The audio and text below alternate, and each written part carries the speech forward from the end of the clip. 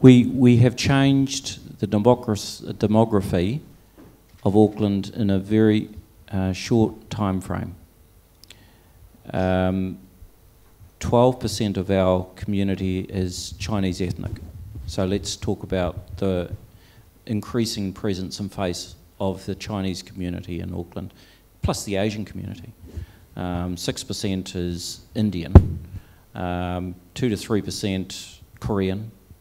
Um, you know, so and and uh, for the Philippine community, they're very fast growing. Uh, they're probably about two to three percent too. But uh, for for the fact that there are now 25% of Aucklanders who have an Asian heritage, uh, that has changed uh, from about five or six percent 15 to 20 years ago. It has been a very rapid, fast change.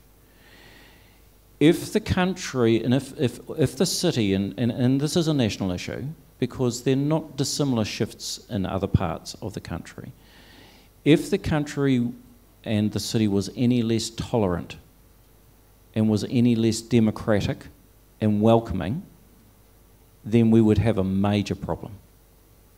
There would be a problem. And to be fair, we're not perfect. At times, you get the odd comment. Recently, we've been having some interesting discussions about the prevalence of Chinese buyers in the Auckland property market. But even those discussions have been held against the backdrop of wariness and a respect that maybe 15 or 20 years ago would definitely not have been there. So I think that as a, a, free and democratic country, we are expressing mostly the best that we could in terms of our tolerance and welcome and embrace of people from different cultures. The best way to handle it? Get your kids going to school together. My children, um, the youngest one's still at school, she's at a secondary school.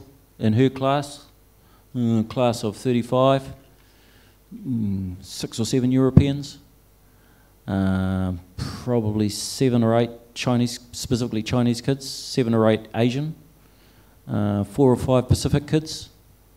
Um, you know, I mean, it's just the United Nations. She brings she, all of her best mates are from all different cultures. They're just mates. They, she, if I were to ask her, well, is this child Filipino, is that child Samoa, she got no idea. She might have some idea, but, you know, it's not the point. So on the basis that, one, we show our children and our grandchildren that we're by and large the same flesh and blood, slightly different cultural background, and be prepared to be patient around those differences.